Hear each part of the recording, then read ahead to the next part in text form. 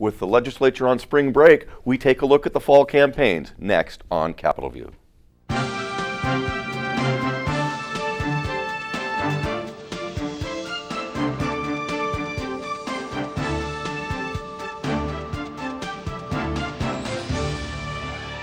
Welcome to Capitol View, the weekly program on state government and politics and how it might just affect you. Joining me this week on Capitol View is Dave Dahl from WTAX Radio. Welcome, Dave. Thank you. And Kent Redfield, Professor Emeritus of Political Science from the University of Illinois Springfield. Welcome, Doctor. Good to be here. Great. Well, uh, as we've said, the legis legislature is on spring break, uh, no doubt resting up from what is, was a tumultuous uh, campaign uh, season in the primaries. Uh, let's talk about that for a second.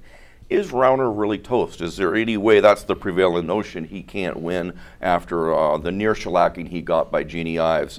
I think that her finish three points or so south of the governor surprised a lot of folks uh, myself included. I think if she'd have done 30, folks would have been impressed. Uh, is the governor done? What do you think, Ken? Well, if, if you've got unlimited money, which we assume he virtually has, you're, you're, you're never done. He's in a weak position. He, he clearly has problems with his base. Mm-hmm. Uh, and to get that back, to make amends with the Jeanne Ives uh, in terms of that group of voters, uh, he'd have to do some things that would cause him problems with swing voters, moderates in the suburbs. You know, he wants to put back that coalition that allowed him to beat Pat Quinn, but uh, he's really working at cross purposes. Uh, you combine that with the fact that he really doesn't have a record, mm-hmm. and we've got uh, still horrendous budget problems, mm-hmm. and uh, you know he he needs to dirty up Pritzker uh, and make him unacceptable. Uh, and uh, he's got enough money to do that, but uh, he, he, certainly is, you know, at a, at a you know severe disadvantage sure. starting out. It almost seems like he created some sort of a, of a, of a, of a uh, picture of himself as the moderate Republican, uh, the, the, folks who, someone who can take on some of the conservative ide- ideology that has bothered folks in the past. But there's no constituency there anymore. Is that is that a, a good way of looking at it or not? I think that if uh, Governor Rauner has a problem, it's not a Pritzker problem, it's not an Ives problem, it's a Rauner problem. Mm. If he doesn't win, it's his fault. Uh, and coming out of the primary, you know, I thought too, you know, Tio Hardiman four years ago got 30%, Ives will get, or got 30%, Ives will get 30%. and until a couple of days uh, before the primary, that's how I still thought. And, and come, you know, Sunday or Monday, I thought she just might win this thing. Well, she came close. She didn't win. And in a results business, you're the winner, Governor. On to November. So I think uh, I think Professor Redfield is correct. Are you better off than you were four years ago? What are the accomplishments? Where's the momentum? And I think uh, the governor has a lot of questions to answer that said, he's definitely not toast. He can still win. What do you do if you're if you're advising him? What do you tell him to do at this point on? Let's start with the legislature and the budget. Uh, um, what do you tell him to do? On do you, do you say do that old hardline thing like you did in the past, or do you take a different path? Well, I would show him my rate card first because I don't give advice away for free, especially to multimillionaire or billionaire politicians. But look how well the years without a budget went it's pretty difficult to say, yeah, that was a win. Um, I keep thinking, how would the governor grade himself, or how would we grade the governor, on how well he works with the General Assembly? You don't have to like him, you do have to work with him. And in most cases, I think Governor Rauner would rate a below average grade. How, how about much of a revolt issue might he have in the Republican caucus? I mean, uh, I get the sense that folks aren't quite as uh, uh, perhaps scared of him as they might have been in the past. Well, I think a lot of them have seen that uh, there's nothing he can do to them, especially when so many of them are lame ducks. And he has he didn't even succeed in blowing out Senator McCann here in this area. Mm-hmm. He put up that state trooper. I can't even remember his name now. But his, his sole purpose his sole purpose was uh, to, to push the eject button on Senator McCann. He couldn't even do that. And now, you know, the caucus frayed and split up last year over the tax thing. Um, you know, you look at governors like Thompson and Edgar, they got along with the General Assembly. And uh, certainly Quinn and Blagojevich didn't do that much to stand in the General Assembly's way. But again, it's as if, and I mentioned this to the governor uh, during the campaign, uh, his first campaign appearance in Springfield this fall. He talks like he hasn't been governor all this time. oh, I'm going to get in there and get Mike Madigan, and I'm going to settle his mm. hash and all the tough talk and everything. And I'm thinking, you know, let's find that guy who's been governor. And, and oh, wait a second, he's the incumbent. Yeah. Yeah. His last direct mail piece he put out with his, you know, how tall is the governor, you know, tall enough to take on Madigan, and you turn it over and here's the platform. You know, I promise to do this, I'm going to do this. I mean, it was all aspirational. There was no listing of all of the great and wonderful things the governor had done. Now, the, particularly the House Republicans were very dependent on his money mm-hmm. in uh, 2016. And, you know, Rauner and Ken Griffin and Richard Uihlein uh, combined to put about $50 million in there that towards House, you know, House and, and some Senate Republican candidates. Mm-hmm. Uh, so uh, certainly, you know, the, the, the Republicans, you know, are, would still like to have his money, but uh, that's a real dilemma on the budget. I mean, the Democrats could do him a favor by overspending, you know, by going on a spending spree and then sending him something wildly out of uh, out of balance. But if they give him a tight budget, mm-hmm. that you know instead of paying off you know a, whatever amount it was, a couple hundred million dollars of debt, you know, give him a tight budget with paying off five five hundred million dollars worth of, of debt where you've spent everything and it's really tight uh, you know, then then they've got him boxed in. He can't really, you know, if he vetoes it, then we're back to a budget crisis. So his, you know, what he does on the budget is going to be dependent on how the how the Democrats play. Well, you're talking about doing him a favor. What about the 32% income tax increase that is bringing in money that's making everything go? Uh, if it weren't for that, uh, he'd be presiding over another year of uh, not much going on. And so uh, it's almost as if uh, it's almost as if it's a gimmick. I think one of the knocks on him has been that he's been too reactive. He's waited for stuff to come to him to give the thumbs up or the thumbs down, uh, and to some extent, that that ha- a lot of stuff does happen behind closed doors.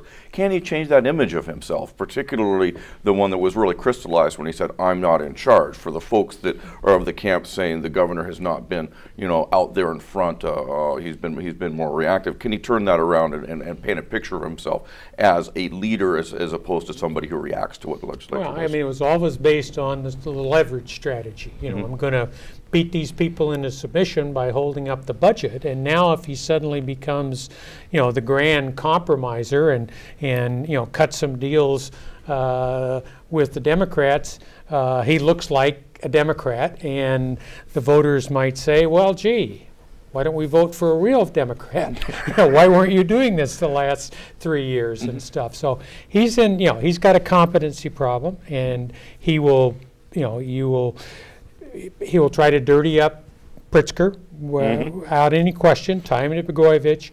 Uh, the Democrats cut a big break in relation to the governor. Pritzker cut a break when Pat Quinn didn't win the, the nomination for Attorney yep. General because he would have tied Quinn and Pritzker and Madigan, and it would be, you know, here's the evil cabal that's ruined the state, and they're, you know, they're coming back at you again, and mm-hmm. I'm the only person that can save you, sort of thing. So uh, uh, he probably saved, a, you know, he was probably happy to see that Kwame Raoul, uh, you know, got the, the, the, nomination for Attorney General. Yeah. Or Drury. One of the things we've been reading is that hmm. there's some turnover in the Rauner campaign staff, and I only say that because four years ago, Rauner ran an excellent campaign. Yep. He is excellent at campaigning, at presenting himself to an audience, an audience that and staying might, on message, an audience that doesn't know him, yeah. which is why he's outside Springfield so much. But mm-hmm. uh, you know, whatever. I, one thing that you really learn in covering people like that is in the campaign, they can be and often are far different than they are in office. Uh, Bruce Rauner has proven to be an excellent campaigner And as far as how good a governor he is, well, uh, incomplete. What about his veracity problem? He's got a reputation now of perhaps not being the most truthful uh, guy on the street. Uh, uh, is that going to be a kind of impediment for to him going forward to, to, to, presenting an image of a strong governor who can actually it's, get things it's done? You know, it's a competency and a trust factor. And he, you know, and, and, he obviously lost both of those things with the people that voted for uh, for Representative Ives. Yeah. And and and so, you know, it's a dilemma with working the, with the legislature, and then when it translates into a campaign again, if the Pritzker people are smart, uh, uh, then they're going to spend all of that money talking an awful lot about uh, the Veterans Home in Quincy and mm-hmm. going into great detail about the various statements that the governor's made uh, uh, that really don't reflect very well if you're trying to say, you know, I'm competent, I'm in charge, I can get things done. Yeah. I think the three of us, we might all say, hypothetically, the three of us might say the governor's a liar. But is our three opinions, and as much as we're thinking about mm-hmm. these kind of things, reflective of how much all of Illinois is thinking. Don't know, but I mean, PolitiFact has in fact mm-hmm. eh, uh, given the pants on fire label. You know, millions of, of Illinoisans would say, "What's a PolitiFact?" Mm-hmm. It's the thing that arrived in my mailbox a couple days before election day. It says, "Oh, the governor's a liar." yeah, you know, but what you know if you've got that much money and, and nobody counters it, then, you know, I talked to a person and said, you know, my sister pulled a Republican ballot, and I was doctor, and she said, "Well, I wanted to vote against Rauner, but I really couldn't vote for Ives because she's Madigan's favorite Republican." I mean, and so I mean, she had bought 100% the the Rauner commercials tying wow. tying Ives to. Uh, uh, to to Rauner. So a source uh, tells me some Republican lawmakers bought that as well. I had no idea. well, if you did vote for Ives, what do you do in November? Do you stay home or do you say, you know, uh, uh, is better than the, than the alternative? Well, I wonder how, how dirty those two guys are going to look. I mean, you've got a guy who, I mean, say what you want about Rauner, go ahead. And then with Pritzker, you know, the Tribune tried to nail him on the offshore stuff, mm-hmm. and he said, "Oh, I never did that." And then they dug up some other document that showed he did. Yes. And uh, he's got his uh, toilet problem, yeah. and uh, so you've got a couple of fully formed, flawed adults, as are we all. Well, yeah. And, and, clearly, it seems the strategy is, is to is to J.B. Pritzker, Mike Madigan, no difference. They're they're they're, they're one and the same. Uh, but that hasn't really played, I think, as well. I mean, Rauner's been trying this for for a, an extended period of time now, and if it, you know, I, it would seem the primary was, was, was perhaps a message saying, you know what, enough folks uh, have issues with you that it's you. It's not. It's not Madigan. Yeah, but I, you know, to play that in this campaign, then we're back to exactly what Dave said, which is, you know, that great political scientist Ronald Reagan. You know, are you better off? Now than you were four years ago. And I it's mean, the economy, stupid. Yeah, I mean, you know, Reagan, Reagan, I mean, political scientists call that retrospective voting, where you, mm-hmm. you make a you make a judgment. But now Rauner is the known rather than the unknown. And makes the, it more difficult. So the one really rich political outsider businessman who we put in because he wasn't Quinn. Instead of him now, we're going to turn to a really rich political outsider billionaire who is not Rauner. You know, it's. Uh, yeah, there's a it's momentum, amusing. Yeah, there's a momentum problem and, and a an energy problem, yeah. and that's going to be tough. Even if those I voters come out, they're not going to be as en- enthusiastic.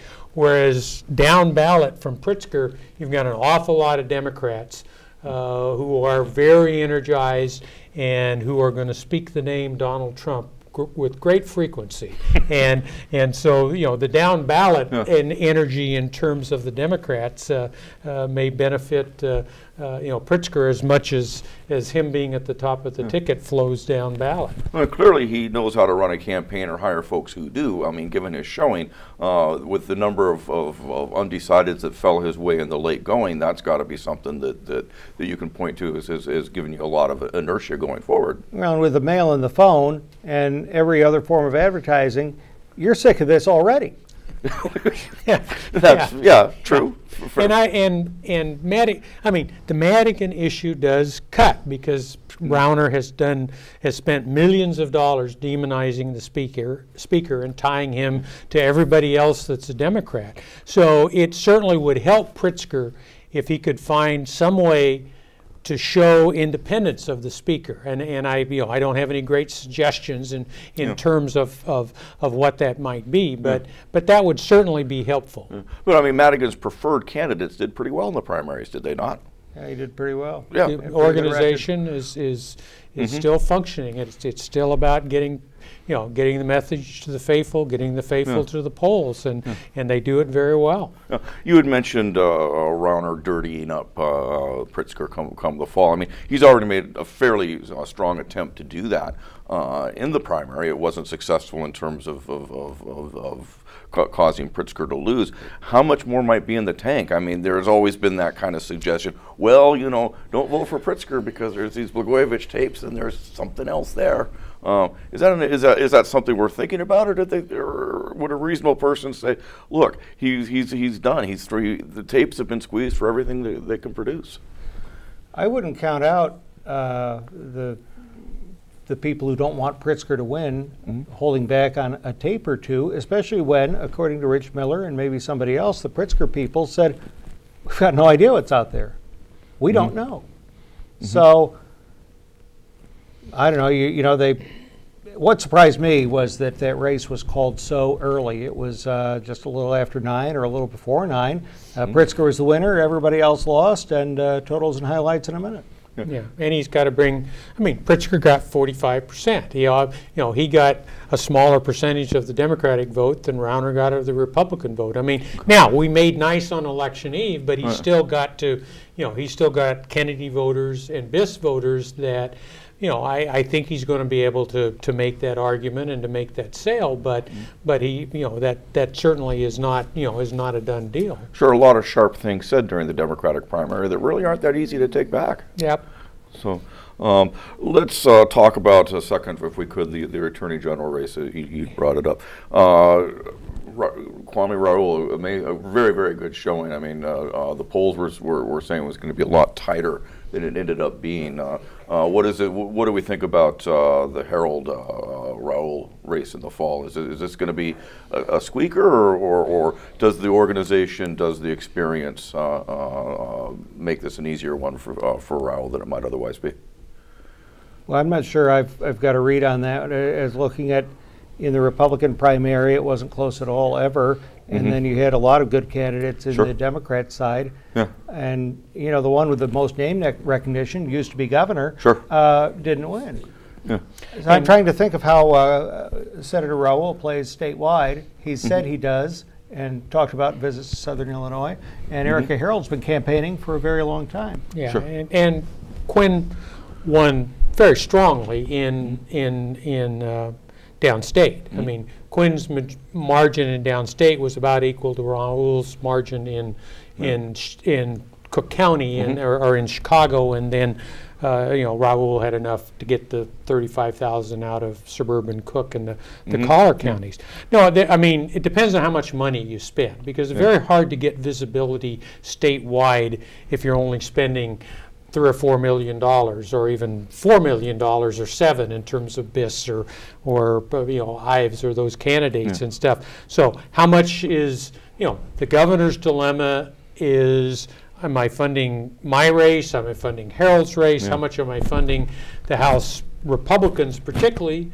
Uh, and the Democrats actually are probably in a better fiscal position because you know Pritzker's going to fund Pritzker, Right. and uh, uh, the unions and the trial lawyers, health facility people, they pretty much matched Rauner's money in 2016 on the legislative legislative races. So if it's the base vote, Raoul wins. I mean, that's just you know, but. Uh, and and Munger, you know, uh, in a, you know, uh, Mendoza beat Munger in kind of a, even though there was a ton of money put in there, most people didn't know who the candidates Right. were or what a comptroller does, and mm-hmm. so, so I, you know, it, it is again more, you know, all things being equal, which they never are. Yeah. You know, Harold has got a, a, a, a you know a much harder you know hill to climb than than Mendoza does. I've got to wonder too if Joe Voter is thinking about the governor's race, if he or she have any energy left to even consider the attorney general's race.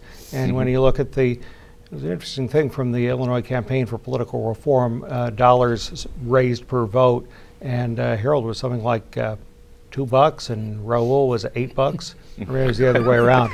And uh, the uh, governor uh, candidates were in the hundreds. Yeah. Governor Rauner more than 200, and uh, Pritzker more than 100 per vote. Which shows there probably weren't a lot of attorney general ads out there. Yeah.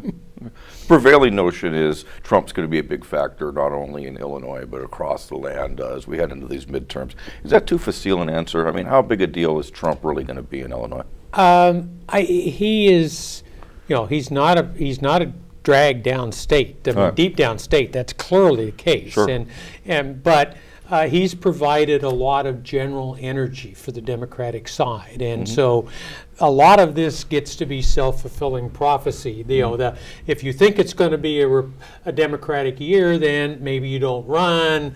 Uh, you know, Yeah. I mean, there just there are lots of things that go into that that that make a wave happen, and and so I I think the Democrats will have an advantage in terms of of, of momentum.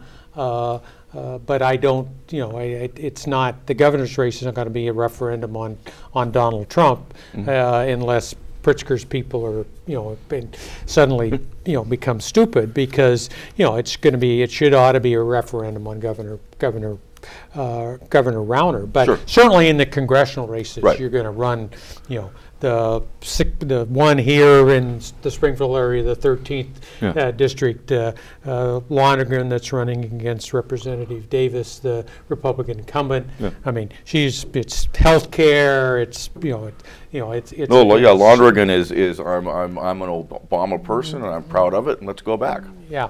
So that's you know, it's certainly going to be a factor in, in, in some of these races, but Mm-hmm. so I, I don't think in the governor's race. And she got almost a plurality, and that surprised me too. Sure. The Listen, geography of that district. if there is a wave, uh, does Rodney Davis surf it or does he get subsumed by it?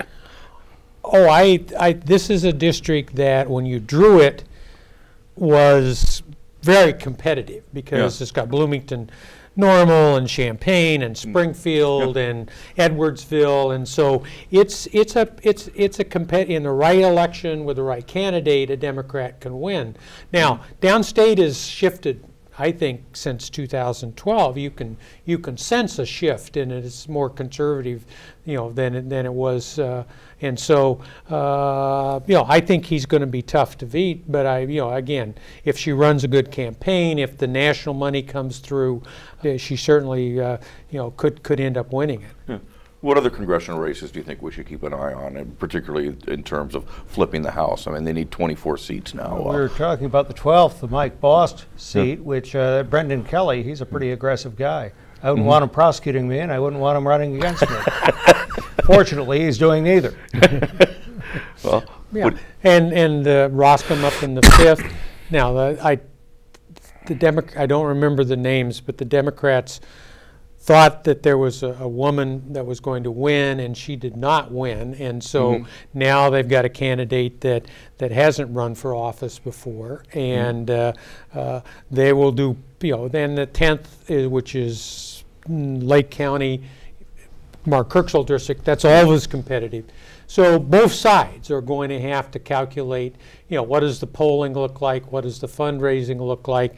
Because when these, you know, if, if these are key races in flipping the House, Yeah. then, or keeping the House, then it's calculus that's being made, you know, outside of, outside of Illinois. So we could see, you know, we're, we're going to see a lot more action uh, uh, on the congressional races uh, uh, because of the, the competitiveness and the, the prospect that the Dem- you know the Democrats believe they've got a shot. Illinois is one of the places where you could, on paper, you can pick up some seats. yeah. What are, what are we to make, uh, or is this yesterday's news, the Bernie Sanders voters? I mean, have they been forgotten by the wayside here? But if you were somebody that wanted to feel the burn, what do you do now? I mean, do, do, do you stay home? Do you vote for somebody who's, wh- which, which dog do you support? You wish there were more of you. is what Yeah. do.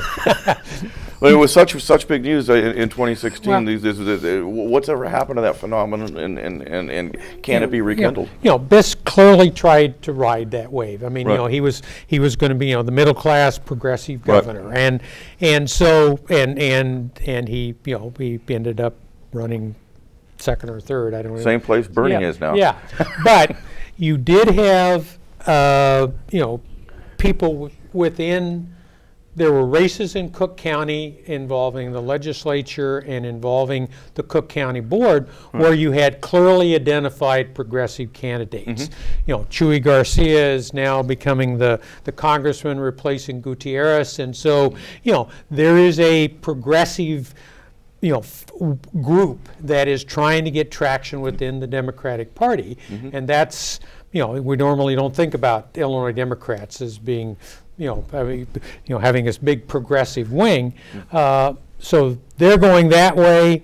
Maybe they're getting some traction, and then certainly on the other side, the Republican caucuses in the legislature are being pulled to the right by Dan Proft, Liberty Principles PAC, uh, Illinois Opportunity Project, which is uh, uh, Besler, the, who was running, you know, was in the Rauner office for a while during the summer, and uh, and Pat Hughes, and so they've made, you know, uh, the Republican caucus may not be any bigger in terms of the House and the Senate. It's going to be a lot more conservative in terms of, of the way, and that, you know, that makes it harder to get bipartisan agreements in terms of finding a middle. Not bigger, more conservative. We'll continue to have the caucus meetings uh, in the phone booth over there then. Well, that's, you know, yeah, that's, they, they don't believe that. They believe, you know, we're going to solidify the base and build out. But, uh, uh, you know, you know, that's, that's to, to be determined. And, and it's always, you know, uphill in, in Illinois, just given its basic political uh, demographics. Do you think that the folks, of the profs, the policy institutes of the world, uh, where do they stand after this this primary? Are they stronger or weaker than they were before? Oh, I think they feel like they're stronger. They're gonna, their numbers are up in the House, and they feel like, you know, they really put a shot across the governor's bow in terms of the race. So they're feeling emboldened. Whether you know whether whether the what the reality of that is, uh, you know, you you got to prove that. Yeah. But you know, they're feeling you know reasonable uh, in terms of you know what what what happened in Okay. the primary. And with that, we're out of time. But uh, thanks for joining us, and we'll see you again next week on Capitol View.